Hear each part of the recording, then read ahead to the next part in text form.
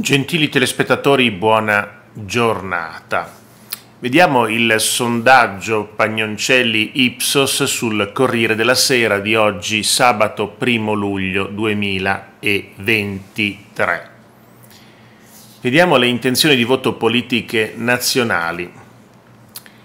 Fratelli d'Italia perde lo 0,2 e scende al 29,4%.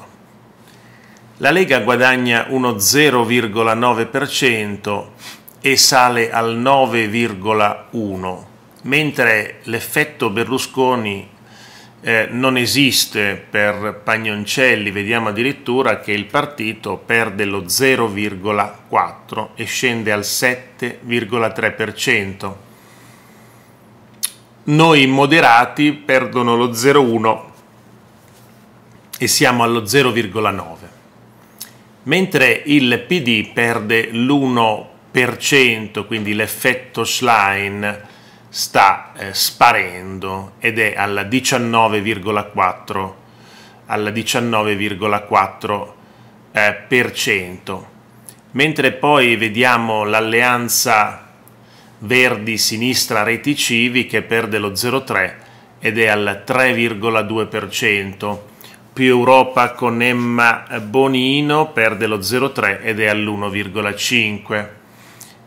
Poi andiamo a vedere il Movimento 5 Stelle, cresce dell'1,2% e si porta al 16,2. Mentre Azione perde lo 0,4 ed è al 3,1. Italia Viva guadagna l'1,1% ed è al 4,1 mentre eh, vediamo che eh, Italexit perde lo 0,4 ed è al 2%, Unione Popolare guadagna lo 0,3% ed è all'1,5%, Democrazia Sovrana e Popolare perde lo 0,2 ed è al 0,7, altre liste 1,6 in discesa dello 0,2 vediamo che eh, gli indecisi l'astensione scendono al 39%, meno 0,5.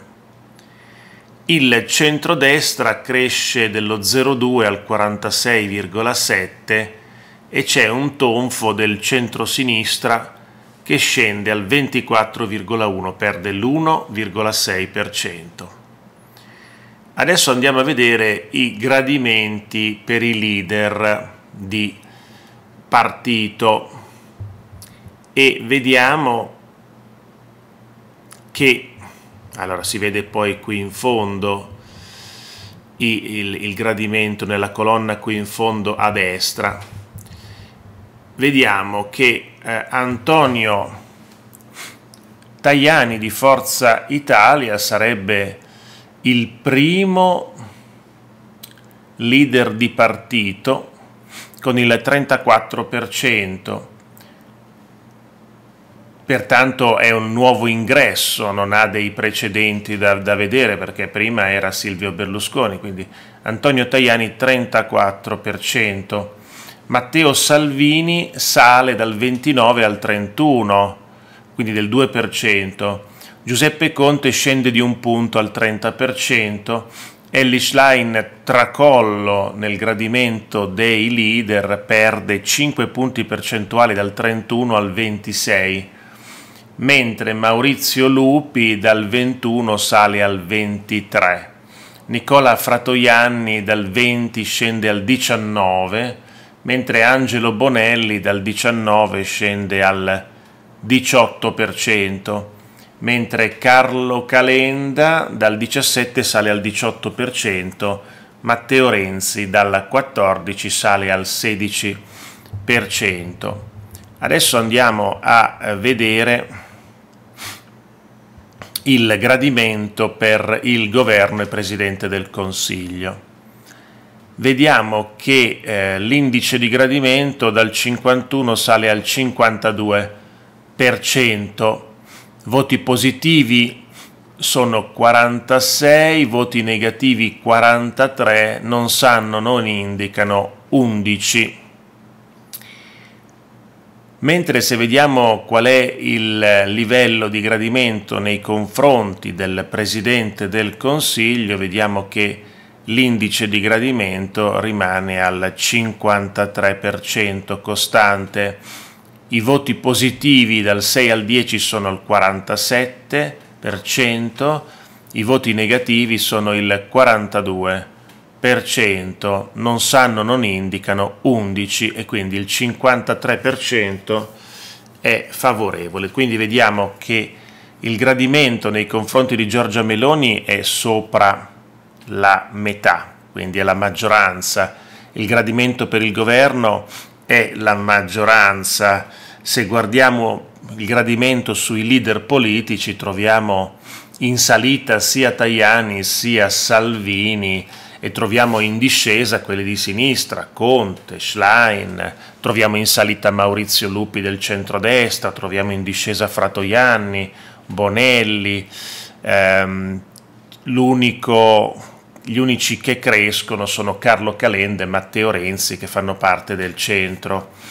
Per quanto riguarda le coalizioni, vediamo anche qua la crescita, la crescita del, eh, della destra, del centrodestra, che eh, è al 46,7%, il centro-sinistra un tonfo dell'1,6% e nelle intenzioni di voto vediamo la crescita della Lega 0,9 e vediamo il PD che finisce l'effetto Schlein meno 1% e la crescita anche di Italia Viva che arriva al 4,1% con un incremento del più 1,1 e sorpassa azione di addirittura un punto percentuale.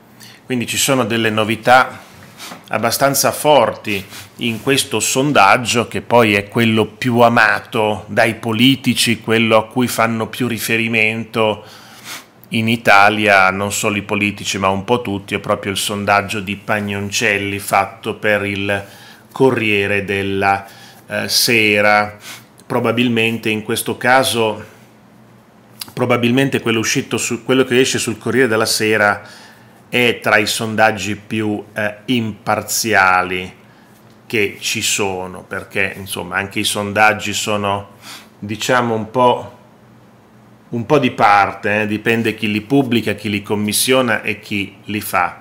Grazie a tutti e buon proseguimento di giornata. Arrivederci e grazie.